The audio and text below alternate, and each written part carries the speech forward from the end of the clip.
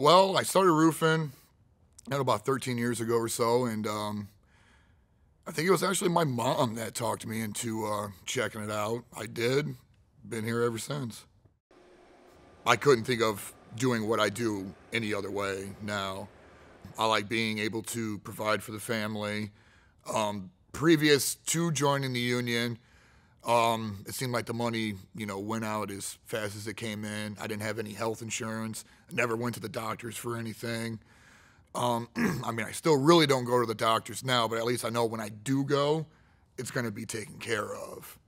So, I mean, that's, I mean, that right there is enough in itself, knowing that I have insurance, my family has insurance, um, and knowing that the money is rolling in substantially better than it was pre union. If you want to make money and you're willing to work hard, I mean, you can definitely do big things